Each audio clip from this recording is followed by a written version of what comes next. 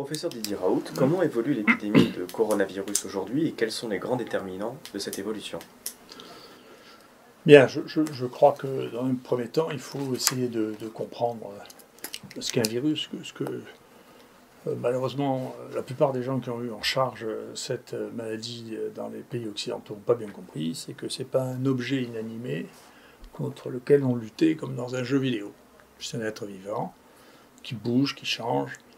Et donc, moi j'ai vécu quelques mois stupéfiants dans lesquels on m'expliquait que les virus ne mutaient pas, ne changeaient pas. Donc, je regarde ça avec beaucoup de, surprise, surtout quand les gens qui n'ont jamais fait un génome m'expliquent ça à moi. Ça laisse pantois. que ce soit les journalistes, les politiques ou les collègues, euh, ça me laisse pantois. Alors bien sûr, ça, ça change tout le temps et ça change en fonction de deux éléments majeurs. Un, ce que nous on appelle la pression de sélection, c'est-à-dire que si vous dirigez une arme spécifique contre un virus, ces changements vont se faire pour éviter ce sur quoi vous vous, acharnez. D'accord? Donc comme là, on s'est beaucoup acharné sur une protéine qui s'appelle le spike, il va y avoir plein de mutants dans le spike. Puisque ces virus se défendent comme ça, c'est ce qu'on appelle la théorie de la reine rouge, c'est-à-dire que eh bien, c'est il y a une compétition sans arrêt entre les vivants, et les vivants qui survivent sont ceux qui ont trouvé le moyen de continuer à se développer malgré les armes qu'on utilisait contre eux. Vous savez bien qu'on n'a pas fait disparaître les staphylocoques parce qu'on a trouvé les antibiotiques, parce que les staphylocoques changent et euh, ils trouvent des parades, comme euh, les streptocoques, comme euh, tout le vivant. C'est pas si facile de se débarrasser du vivant microscopique. C'est plus facile de se débarrasser des mammifères que des microbes. Donc ça, il semble que cette notion basique qu'on connaît depuis plus de 100 ans, tous les gens qui sont aux affaires aient complètement oublié cette chose-là. C'est du vivant contre lequel on lutte. C'est la première chose. Et que donc ce vivant change. Euh, c'est pas bien étonnant. C'est ça, c'est banal pour la grippe. Tous les ans, on change la composition du virus, du vaccin contre la grippe parce qu'il y a des nouveaux mutants et qu'il faut faire face à ça et que l'immunité contre les anciens mutants n'est pas aussi bonne contre les nouveaux mutants.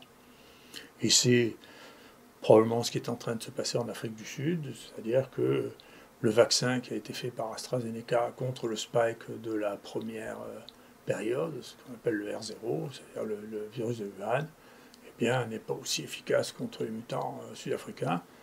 Et justement, ces mutants sud-africains, ils arrivent en France. Enfin, chez nous, on les voit euh, maintenant assez fréquemment parce qu'ils sont revenus des Comores, qui ont le même virus sud-africain. Il y a beaucoup de Comoriens à Marseille hein, qui, sont, qui ont transité par par euh, le, Maghreb, en particulier par la Tunisie, qui ont été détectés par les pompiers là, à l'aéroport.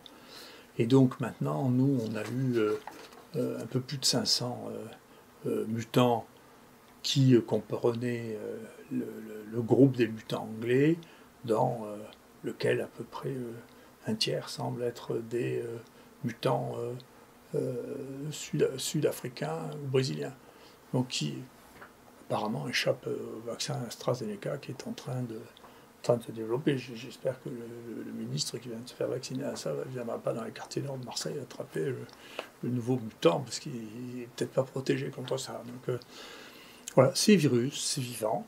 Donc euh, les armes qu'on a sont des armes relatives, ce pas des armes de destruction massive, c'est des armes relatives. Alors euh, voilà, c'est comme ça. Par ailleurs, on a fait des bêtises, mais ça, c'est, on ne peut pas s'empêcher. Il y a une espèce de. Dans cet affolement, il y a des bêtises internationales qui ont été faites à vouloir absolument innover au moment d'une situation de crise euh, sur des choses qui n'ont jamais été testées auparavant. Et ça, c'est souvent une erreur, parfois ça marche. Alors pour le remdesivir, c'est vraiment, vraiment, vraiment, vraiment, vraiment une erreur. Euh, je suis surpris d'ailleurs hein, que le groupe qui dirige euh, la recherche et les conseils euh, dans ce pays soit encore à, nous redonner des conseils alors qu'il y a une succession d'erreurs absolument incroyables, dont cette obstination à faire d'Amsivir qui manifestement a complètement infiltré la décision dans les pays occidentaux, en particulier la France. Je suis d'accord avec ma, compatriote Ségolène Royal qu'il faudra bien un moment que l'État et l'Europe fassent une enquête sur ce qui s'est passé avec la remdesivir, parce qu'on sait depuis très longtemps que ça ne marche pas. Un, ça marche pas. On en a acheté des, pour des milliards alors qu'on savait que ça marchait pas. On l'a distribué alors qu'on savait que ça marchait pas. Et non, ça marche, non seulement ça marche pas, mais en plus ça, bien sûr, il y a des complications au moins liées aux perfusions. Et en plus, c'est un médicament qui entraîne des surmutations chez les patients qui en reçoivent et qui sont porteurs du virus pendant un certain temps. Donc, euh, quand, si vous voulez avoir des mutants, il faut avoir un, le virus qui se développe très très rapidement, ce qui a probablement été le cas dans les épidémies de vison. Deux, une pression de sélection, c'est-à-dire si vous mettez des anticorps ou de la vaccination spécifiquement sur une seule protéine, vous aurez des mutations dans cette protéine, c'est ce qui se passe à peu près tout le temps. Trois, si vous utilisez un médicament qui favorise les mutations, ce qui est le cas du Remdesivir, ça favorise, un agent mutagène, ça favorise les mutations. Et par exemple, nous, alors à Marseille, on était très très avares de Remdesivir, peut-être à cause de moi, mais en tout, il n'y a eu que trois malades qui ont reçu Remdesivir dans un des malades qui a été porteur. Il y en a deux qui sont morts trop tôt, hein, on pas pu, ne les a pas sauvés. Et puis le troisième qui est mort un peu plus tard, mais qui a été porteur pendant un certain temps parce qu'il était immunodéprimé. donc on a séquencé en fin de traitement par rapport au dit traitement, il y a au moins 10 mutations qui sont apparues sous l'association Redemsivir plus anticorps euh, euh, euh, injectés, au moins 10 mutations qui sont apparues. Donc c'est la même chose qui a été publiée dans le England, c'est des choses qui commencent à sortir maintenant. Il y a encore deux autres papiers qui sont sortis. ce médicament chez les gens qui sont immunodéprimés entraîne la sélection et la création de mutants euh, euh, dont on ne sait pas ce qu'ils vont devenir, parce qu'ils compris, ont des mutations à spike, ils ont des mutations dont on sait qu'ils sont associés avec la résistance. Donc euh, c'est vraiment faire l'apprenti sorcier que d'utiliser les médicaments qu'on ne connaît pas dans des indications qu'on ne connaît pas, et de ne pas prendre la fermeté nécessaire pour arrêter quand ça ne marche pas. Donc ça, cette utilisation persistante, persévérante, en particulier dans ce pays du Redemsivir, est une faute. Comment est-ce que la France se positionne en termes de qualité de la réponse euh, à l'épidémie? Ben, À peu près, moi je, suis gêné, parce que je ne me sens pas concerné à titre personnel, parce que ma nature, c'est pas d'être le dernier de la classe. Mais globalement, pour toutes les décisions stratégiques qui ont été prises concernant le virus, on a à chaque fois été les derniers. Donc au bout d'un moment, à mon sens, il faut y avoir vraiment une réflexion, remettre les choses à plat. Mais on a été derniers à faire des, tests systématiques en disant non, non, il n'y a que deux petits centres qui vont faire quelques dizaines, on ne va pas le faire pour les autres. On a pris des mois pour pouvoir se mettre à, niveau. Euh, brutalement, les gens sont mis à, se rendre compte que ça servait de faire des génomes. Sûr, ça sert de faire des génomes. Pourquoi ça sert de faire des génomes? Pas pour n'importe quoi. Enfin, bien que la curiosité soit importante. Mais un, si vous voulez trouver des variants différents qui vont avoir des cibles différentes pour le vaccin, vous êtes obligé de faire ça. Si vous avez des échecs thérapeutiques, comme il y a eu des échecs thérapeutiques avec le Redemsivir. Nous, on ne les a pas eu parce qu'on ne faisait pas Redemsivir.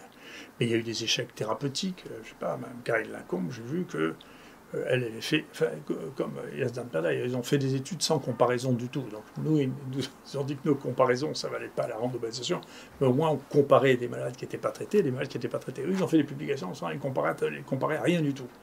Et en plus, ils n'ont pas analysé les virus qui restaient à la fin du traitement.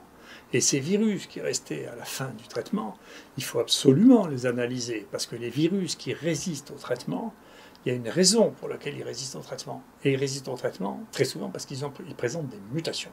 Et on sait aussi bien le Remdesivir que les anticorps obtenus par plasmaphérèse sélectionnent et entraînent des mutations. Et ce travail n'a pas été fait. C'est un travail, ça manque de science, tout ça. On s'excite sur la méthodologie, mais c'est la science basique qui manque dans ce pays. Donc, on a fait des essais sans regarder quelles étaient les conséquences des essais, en particulier sur les virus. Ensuite, on n'a pas fait de génome, et quand j'ai commencé à faire des génomes pendant l'été, on était les seuls à le faire, les gens disaient ça ne sert à rien, il n'y a pas de mutants. Et donc on est arrivé par constater, euh, c'est bien, je suis content que le, président ait saisi euh, cette euh, occasion pour remettre les choses, mais vous voyez, ça c'est le, nombre de génomes qui a été fait en fonction du nombre de cas dans le monde. Donc vous voyez que ça c'est l'Europe, dans laquelle il y a une dispersion qui est quand même assez spectaculaire. D'accord? Euh, Nous, on n'a pas honte, hein. on fait partie des gens qui ont fait le plus de génomes par mort du monde, on fait partie des trois ou quatre premiers. Mais la France, sans nous, elle est placée là, et si vous voyez où est la moyenne de l'Afrique, vous voyez, vous voyez que la moyenne de l'Afrique est au-dessus de la France. Donc, euh, il y a un problème. Hein. Et le problème, c'est pas nous. Hein.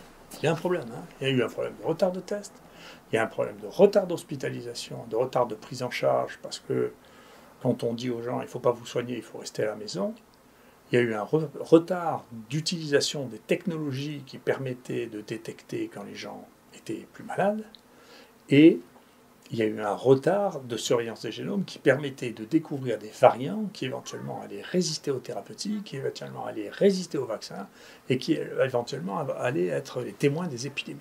D'accord? Alors donc nous, on a continué à faire ce travail, vous voyez, et donc le travail, pour l'instant, nous, on n'est pas particulièrement affolés par ce qui se passe avec euh, euh, les mutants anglais. Vous voyez, les mutants anglais, c'est ce qu'on a mis en rouge maintenant qu'on a séparé entre les mutants anglais, anglais et les mutants sud-africains. Donc ça représente 25-30% euh, de l'infection qu'on a avant. Celui-là, c'est celui qu'on appelle le 4, qui continue à être le plus important depuis août et qui est celui qui donne l'épidémie la plus longue, la plus consistante. On a comparé la mortalité de, de la première épidémie. Et encore une fois, c'est, les gens continuent à parler de deuxième vague parce qu'ils ne, lisent pas, parce qu'ils ne regardent pas, parce qu'ils n'analysent pas. Il ne s'agissait pas des mêmes maladies. Ces maladies sont différentes. Donc la première maladie, celle qui est due au R0, au virus chinois, avait une certaine mortalité relativement importante euh, une, elle, donnait beaucoup, beaucoup d'anosmie, un taux d'hospitalisation qui n'était pas négligeable et pas du tout de cas les enfants. Et puis, on n'a plus rien. On a eu, nous, un mutant qui ne s'est pas diffusé hors de France, mais qui est un mutant qui était très fréquent en Afrique, très bénin, beaucoup d'anosmie, euh, très peu contagieux, s'est arrêté tout seul, sans qu'on sache pourquoi. Ensuite, on a eu le 4. Le 4 a une sévérité un peu moindre que le R0 mais une, épidémiologie complètement différente, puisqu'il s'étale maintenant depuis cinq mois, alors que le premier a duré un mois et demi, avec une courbe en cloche, il n'y a pas du tout une courbe en cloche, et il s'étale dans le temps, c'est pas du tout quand il va s'arrêter, euh, une, un tableau clinique qui ressemblait au R0, mais pas au 1, et puis maintenant, l'anglais et le, et, le, le sud-africain, pour lequel on a maintenant à peu près 300 cas chez qui on a analysé les données cliniques, pour lequel on montre que c'est un peu... La sévérité, pour l'instant, est de même nature. Euh, la contagiosité ne nous paraît pas plus grande. On n'a pas une extension très significative du nombre de cas par rapport euh, au 4, qui reste notre virus dominant. Et euh, cliniquement, c'est différent. Il y a moins d'anosmie et d'agueusie et plus de tout. C'est des maladies différentes, avec des épidémiologies différentes, mais si vous ne regardez pas, et si vous jouez dans des jeux vidéo, vous dites Ah, euh, COVID-19, et puis c'est une entité unique qui donne la même maladie, avec les mêmes risques, c'est pas la peine de faire le génome. Euh, c'est comme ça. Et donc, euh, encore une fois, le, les opinions sur les plateaux télé, ça remplace pas la science. Hein. La science, c'est du travail, c'est de la connaissance. Nous, des tests, on en a fait 500 000 maintenant. On a traité ici en ambulatoire 11 000 malades. On va voir, c'est la plus grande série mondiale. On a traité en hospitalisation 2500 malades. Là aussi, c'est une des plus grandes séries mondiales. Vous verrez les résultats. On a les résultats de mortalité parmi les plus bas du monde, les plus bas du monde pour ce qui est de la prise en charge.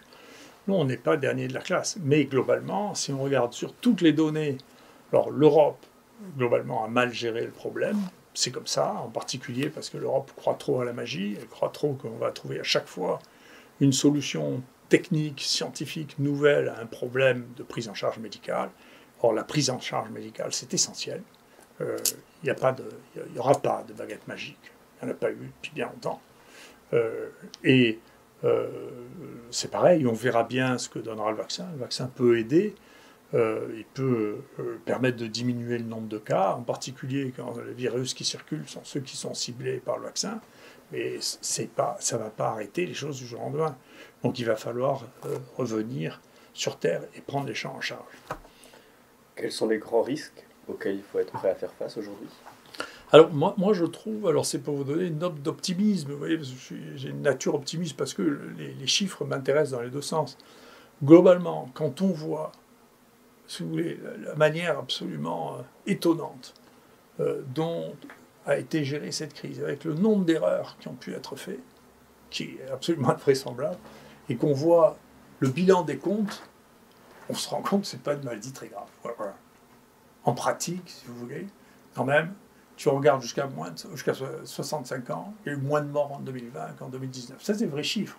Parce que les chiffres, quand ils me disent Ah, mais tant de gens qui sont morts du Covid, nous, je sais bien, des gens qui sont morts du Covid chez nous, il y avait euh, quelqu'un qui est toxicomane, qui a fait une fausse route, euh, il y a quelqu'un qui est mort d'une appendicite, il y a quelqu'un qui est mort d'une rupture d'anévrisme, et qui avait du Covid dans la gorge. Mais le Covid dans la gorge, nous, quand on testait les asymptomatiques, à ce moment-là, il y en avait entre 6 et 8% donc la relation de cause à effet avec le fait d'avoir un Covid le fait de mourir à l'hôpital, il faut l'établir. Il faut qu'il meure de quelque chose qui a à voir avec le Covid. Parce qu'il y a tas de gens qui sont morts de n'importe quoi et qui n'avaient pas le Covid. Comme en plus de ça, on est passé d'une restriction absolue du nombre de tests à une génération du nombre de tests qui qui ont été faits dans la panique, comme d'habitude. C'est-à-dire, on n'a pas évalué les tests. On fait des tests de PCR qui sont faux, qui rendent des faux positifs. Il y a des gens qui rendent à 44 alors qu'on sait qu'après 35, ça ne veut rien dire. Nous, les, tests qu'on a réévalués, il y en a 20 à 40% qui étaient faux. Les tests qui sont recommandés sur le marché, ils n'ont été testés par personne. Nous, les tests sur la salive, on s'est rendu compte qu'il y avait 30% de faux négatifs. Donc, euh, les tests qui ont été faits, on ne sait pas ce qu'ils veulent dire les déclarations qui sont faites de mort de Covid, on ne sait pas ce que ça veut dire, parce que la causalité, c'est-à-dire le lien entre le fait qu'il y ait un test qui est plus ou moins réaliste avec le fait que quelqu'un meurt, c'est quelque chose. Mais en revanche, il y a une donnée sur laquelle on peut travailler, c'est une donnée sur laquelle on travaille depuis des années, c'est la surmortalité par rapport aux années précédentes. Donc cette surmortalité, si on ne fait pas du catastrophisme, comme la presse adore le faire, et qu'on la tempère par l'âge, c'est-à-dire en pourcentage de gens morts dans une tranche d'âge, ce que l'on constate, c'est qu'il y a surtout une augmentation des morts chez les gens de plus de 75 ans. Et donc, un, il faut s'occuper des gens, il faut les prendre en charge le plus tôt possible, parce que quand on les prend en charge le plus tôt, possible, ils ne meurent pas, on soigne.